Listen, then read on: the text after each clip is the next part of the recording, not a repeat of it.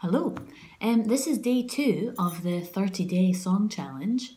Day one was a song you like with a colour in the title, and today, day two, is a song you like with a number in the title. And I have chosen 50 Ways to Leave Your Lover by Paul Simon. I love that song.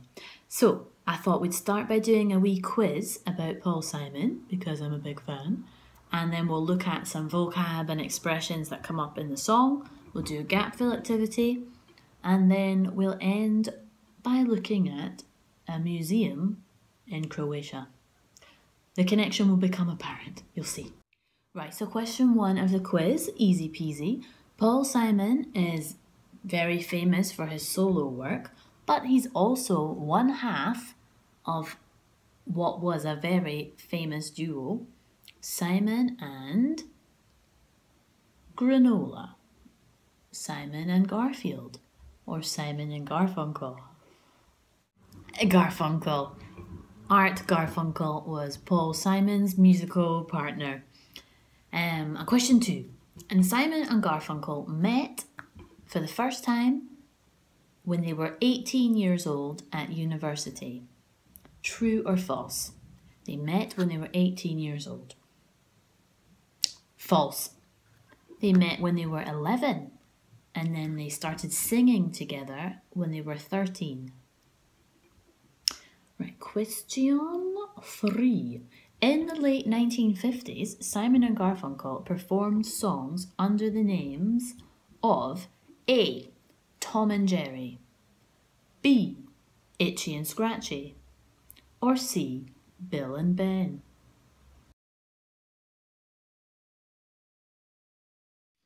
Is Tom and Jerry. Quick question four. Paul Simon is left handed but plays guitar with his right hand. True or false? True. Didn't know that. Uh, question five. Paul Simon was married to A. Meryl Streep, B. Carrie Fisher, or C. Michelle Pfeiffer. And he was married to Carrie Fisher, who is probably most famous for playing Princess Leia in Star Wars. And lastly, where did Paul Simon grow up? Did he grow up in A. New York City, B. Houston, Texas, or C. Seattle, Washington State? New York City. Okay, so let's move on to the song um, 50 Ways to Leave Your Lover, which is from the 1975 album Still Crazy After All These Years. So, before we begin, there are some words I thought we'd just go over quickly. I'm going to put the words here, and if you already know them, well, feel free to skip forward to the song, which will appear at this time here. Okay, so the first set of words are these. And then also these expressions. So the first word is struggle, which is a noun, a struggle, and a verb, to struggle. And it means that something is very difficult and you are trying very hard. You're putting in a lot of effort. Like, Whoa, this is so heavy, I'm struggling to lift it. Ooh. Or maybe you find it hard to get out of bed in the morning. You say, oh, it's a struggle to get up in the morning. All right, and the next word is to intrude, which means to enter into a situation where you don't belong and your presence is not wanted. So that could be intruding into someone's personal business, or it could be breaking into someone's house. You could say, oh, there's an intruder. Okay? And the next word is to misconstrue, and that means to misunderstand, basically. And the next word is crude. And crude is a bit like rude. It's vulgar. It's um, it's rude in a very obvious way. And the last word um, is grieves, or perhaps grief. The two words are obviously related. Um, if something grieves you, it gives you grief, which is sadness, great sadness. It grieves me, it makes me sad. Okay, now for some slightly longer expressions. To see the light. Oh. And that means to understand something that you didn't understand before. You know, after some time, ah, finally, finally, I see the light. I understand. Um, the next one is to sleep on it. Uh, that was fairly fairly obvious. It just means that maybe you're making a decision or you're thinking about something and you want to take a bit more time. You say, "I'm going to sleep on it. I'm going to wait, and tomorrow, hopefully, I'll know what to do." To sleep on it. Um, and the next one is to slip out. To slip, to slip means to, to fall. But to slip out, phrasal verb, means to leave quietly, you know. Not, hey, bye, I'm going, but just to just to slip out. Um, and the next one, another phrasal verb, is to hop on. To hop is to jump on one foot. Hop. And to hop on it means to, to get on. For example, to hop on the bus means to get on the bus, but it kind of has this idea of um, fast action. You know, hop on, hop off, boom, boom, in, out. Um, for example, the tour buses that you see in London and Barcelona and big cities um, where you can get on and get off are called hop on, hop off buses. Okay, and the last one is to drop off, another phrasal verb.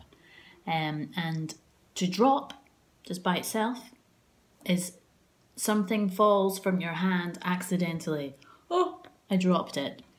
But to drop off is intentional, and it means to take something or someone and leave them somewhere else. Um, for example, to drop the children off at school means to take the children to school and leave them there. To drop a book off at someone's house is to take that book and leave it at the person's house. Now, the difficult part with phrasal verbs is always the word order, isn't it? And this one, you can say, and actually, as Paul Simon sings in the song, he says, drop off the. I don't want to reveal the lyric. Let's say bike. Drop off the bike. And that's fine. And that is correct.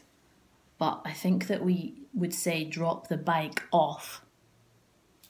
We say that more. So I think you should learn that um, to drop someone off or to drop something off. Okay. Anyway, let's listen to the song and do the gap fill activity.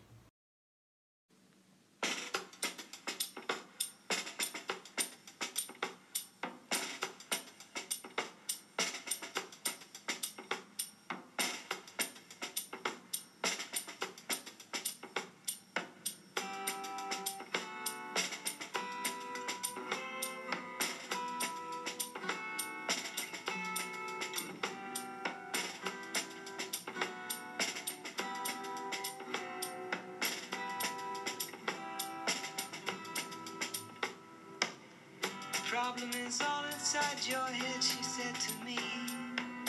The answer is easy if you take it logically. I'd like to help you in your struggle to be free. There must be 50 ways to leave your lover. She said it's really not my habit to intrude. Furthermore, I hope my meaning won't be lost or the risk of being crude, there must be 50 ways to leave your lover. 50 ways to leave your lover. You just slip out the back, Jack. Make a new plan, Stan.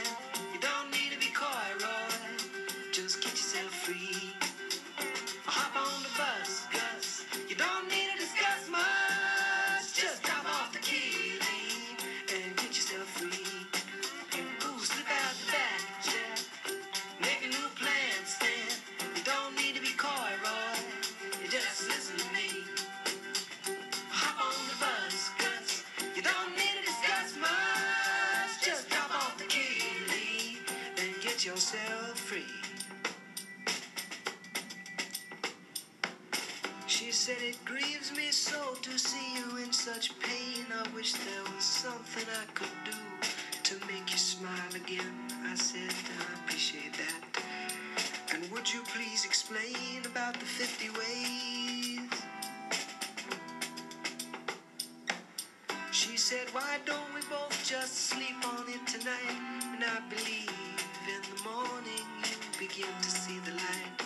And then she kissed me, and I realized she probably was right.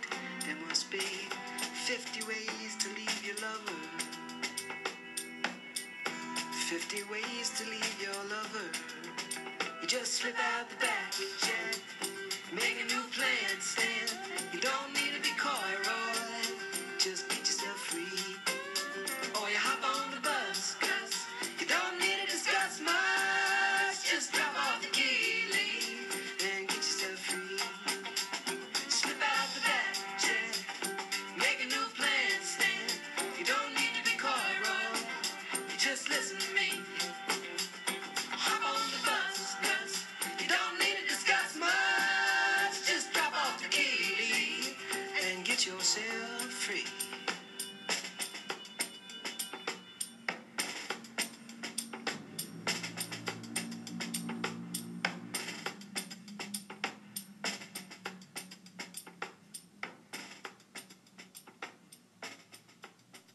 Okay, I hope you liked the song if you didn't know it already. And I'm going to put the answers on the screen now. So, are there really 50 ways to leave your lover? Have you ever ended a relationship in an interesting way or in an interesting setting?